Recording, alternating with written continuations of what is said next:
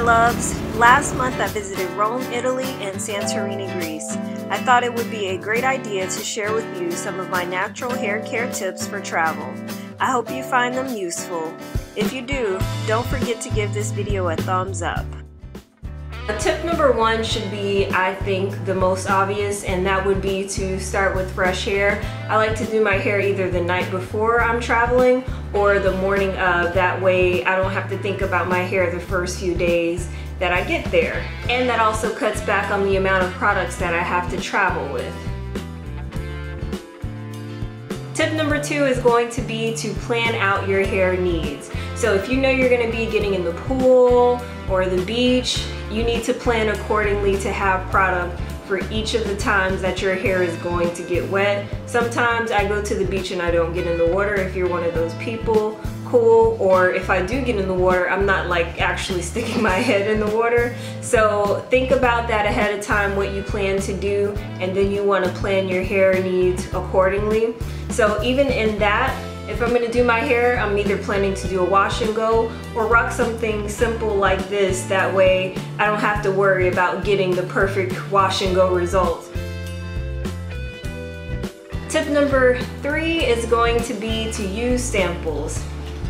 Now you know how you go to all those hair events and they just load you up with samples? Especially curls, I have like four of these. Um, Ouidad, uh, Uncle Funky's daughter, I actually bought the travel size um, pack of the Uncle Funky's daughter line, which I actually really like. Um, but load up on the samples because they're usually within um, the TSA guidelines of I think it's like three ounces.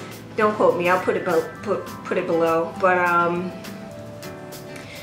it's a great way to keep your um, products under within the limit and also it's more convenient than trying to have to pour leave-in conditioner into a one of those little travel size containers.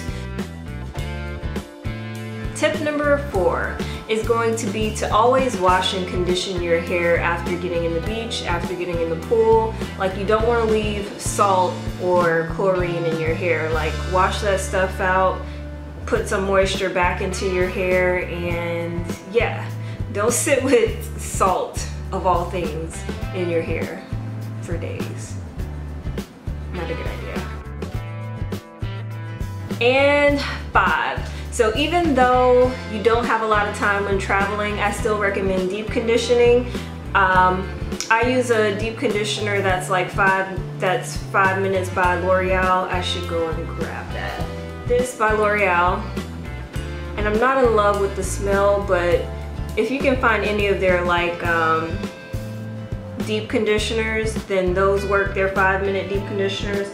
Also one that a lot of people swear by is the Aussie Moist 3 minute um, deep conditioner. Uh, that's actually like super affordable and I would use, I would actually grab that uh, for travel. And that way you can still get that good deep condition without spending an hour, an hour on your hair. Like no one has time for that while traveling. But yeah, thank you guys for watching and I'll see you in my next video. Don't forget to give this video a thumbs up. Uh, subscribe, subscribe if you haven't, yeah, yeah. Um, yeah, and that's it. Love you guys. Bye.